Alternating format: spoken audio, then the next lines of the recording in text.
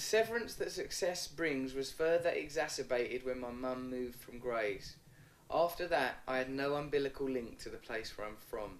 I need never go back there again. I went to visit one last time on the day she was leaving while Morrissey scored as usual. As you walk without ease on these streets where you were raised. Me and John Rogers walked past the flower bed that I'd stomped on because the man who lived there had asked me nicely not to.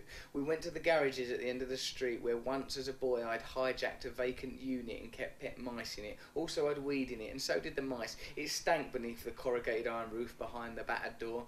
I am moving house, a half life disappears today. With every hand waves me on, secretly wishing me gone. Well, I will be soon. There too were the allotments, fabled to the kids of the street for the unused lots, wild with brown grass and arsonists' dream, all in the shadow of a fire station tower where they practised being firemen that once I'd climbed in moonlit dread and on top seen all the world roll out beyond the sirens and the tarmac. Goodbye house forever. I never stole a happy hour around here.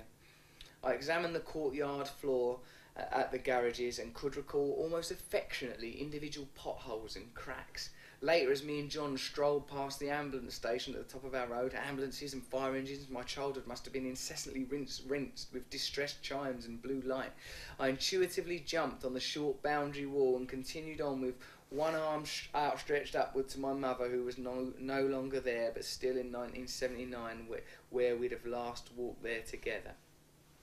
John said it was as if the memories were not neurological, but physical. They lay there among the gutters and cracks, waiting collection on our return, like a once prized rag doll, tarnished and forgotten. In my bedroom, where I'd spent years in devoted solipsism and self absorption, I signed an autograph for a removal man's daughter and finally bleached away the last remaining corner of my anonymity. Fame seeped through the walls and delivered its dubious cure to the forlorn youngster who'd sat and craved away summers, seeking its gilded kiss. That's my favourite line.